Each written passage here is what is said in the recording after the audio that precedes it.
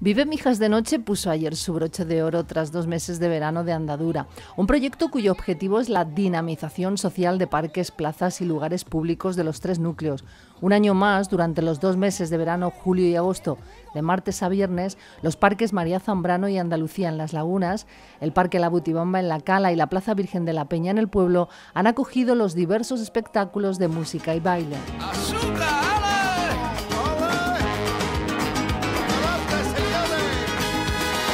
Voy a contar la historia, la historia de un bailao, de un gitano canastero, para mí era el mejor.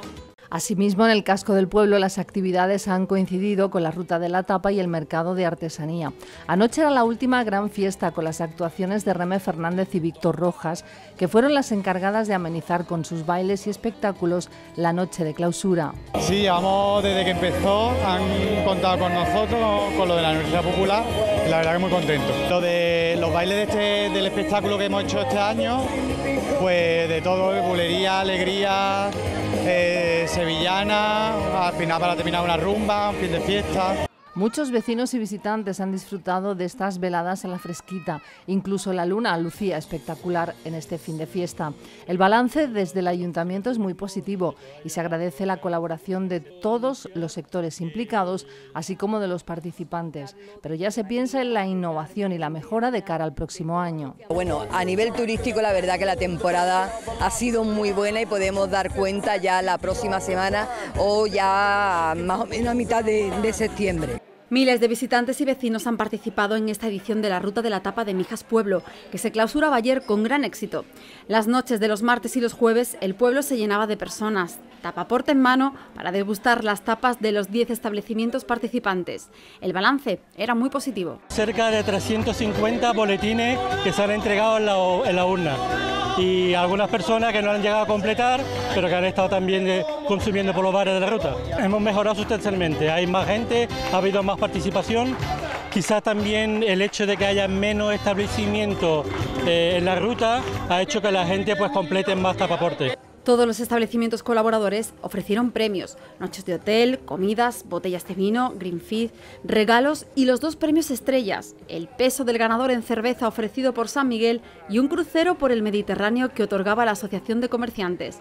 Los participantes de esta edición han destacado la calidad de los platos. Nosotros hemos estado en, el Porra, en la taberna, bueno, hemos hecho todos los bares y ha estado perfecto. Ha estado estupenda por todo el pueblo, en el Bar Triana, en el Porra, en la Vinoteca del Vino. Algunos esperaron al último día para entregar su tapaporte y así poder entrar en el sorteo.